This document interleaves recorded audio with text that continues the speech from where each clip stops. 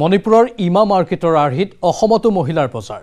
পাকঘৰৰ সামগ্ৰীৰ পৰা আৰম্ভ কৰি প্ৰসাধন সামগ্ৰীলৈ বিক্ৰী কৰিছে মহিলাই। কিন্তু অসমৰ ক'ত বহিছে মহিলাৰ এইখন বিশেষ বজাৰ?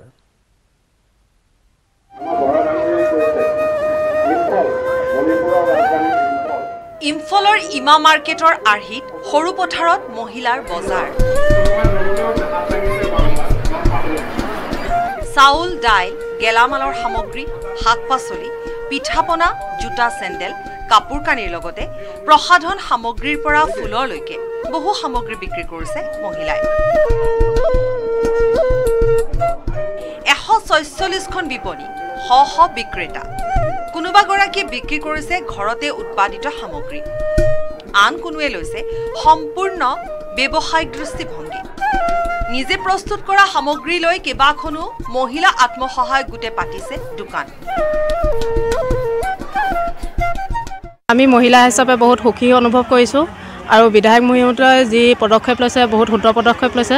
মহিলাখিনিয়ে স্বাৱলম্বী হ'ব পাৰোঁ। তাৰ কাৰণে আমাক যে বিশ্বজিৎ ফুকন ফুকন ছাৰে আমাৰ এইখিনি সহায় কৰাৰ বাবে বহুত বহুত বহুত ধন্যবাদ কৰিছোঁ। ভাল লাগিছে গোটৰ মহিলাই হেৰি কৰিছোঁ বজাৰ কৰিছোঁ। আৰু আমাৰ জোনাক আত্মসহায়ক গোটৰ সদস্য আমি এয়া চব্জি বিকিবলৈ ওলাই আহিছোঁ। খুবেই ভাল লাগিছে যে মহিলাসকলৰ কাৰণে এখন বজাৰ হেৰি কৰা হৈছে আৰু যাতে মহিলাসকলে ওলাই আহি নিজৰ নিজে স্বাৱ- স্বাৱলম্বী হ'ব পাৰে।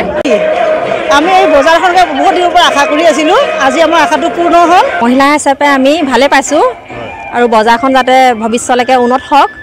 আৰু উন্নত হ'লে আমাৰো উন্নত হ'ব। সৰু পথাৰৰ নাওজানৰ দৃশ্য এয়া। মহিলা সবলীকৰণৰ লক্ষ্যৰে নাওজানৰ সাপ্তাহিক বজাৰ চৌহদত স্থানীয় বিধায়ক বিশ্বজিৎ ফুকনে মুকলি কৰিলে এইখন বজাৰ। আজি নাওজানত মহিলাসকলৰ দ্বাৰা সাপ্তাহিক বজাৰ। নাওজান যিখন আমাৰ সাপ্তাহিক বজাৰ আছে মঙলবাৰে হয় আজিৰ পৰা দেওবাৰে। মহিলাসকলৰ কাৰণে সেই একে ঠাইতে মহিলা বজাৰ আৰম্ভ কৰা হৈছে। এই অঞ্চলৰ মহিলাসকলে তেখেতসকলৰ উৎপাদিত সামগ্ৰীৰ লগতে অন্যান্য দৈনন্দিন প্ৰয়োজনীয় সামগ্ৰীসমূহ এই বজাৰৰ জৰিয়তে বিক্ৰী কৰিব। মহিলাৰ বজাৰ মুকলি অনুষ্ঠানত উপস্থিত থাকে গোলাঘাটৰ জিলা উপায়ুক্ত ধনচিৰি মহকুমাৰ মহকুমাধিপতি জিলা পৰিষদৰ মুখ্য কাৰ্যবাহী বিষয়া আৰু জিলা গ্ৰামোন্নয়ন অভিকৰণৰ প্ৰকল্প সঞ্চালকৰ লগতে জিলাখনৰ বহু গণ্যমান্য ব্যক্তি।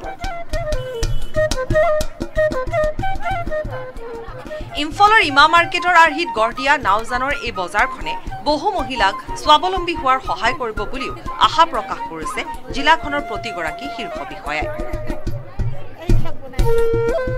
সৰু পথাৰৰ পৰা দেৱাশিষ গৌতমৰ report news eighteen Assam north east